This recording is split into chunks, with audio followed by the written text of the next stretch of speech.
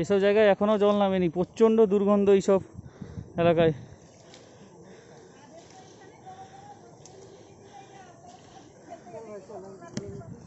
ছবি নিয়েছিস? কি অবস্থা? এই যে, এখনও পর্যন্ত দেখুন প্রায়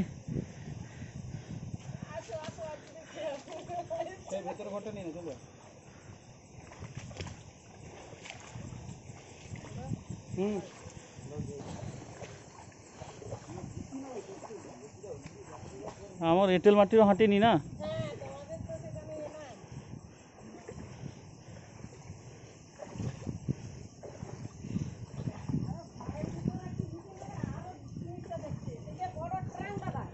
হ্যাঁ কীভাবে মুসড়ে ভেঙে দিয়ে গেছে যে কি পরিস্থিতি দেখো হ্যাঁ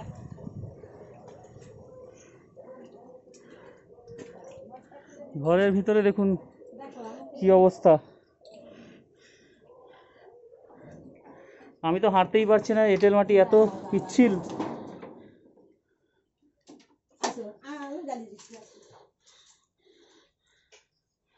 এই হচ্ছে এনাদের ঘরে, যাচ্ছি যাচ্ছি এই হচ্ছে এনাদের ঘরের অবস্থা।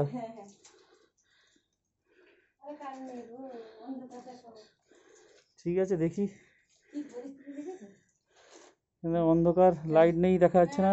বাড়ির কিছু দুটো ছবি তুলে নিই।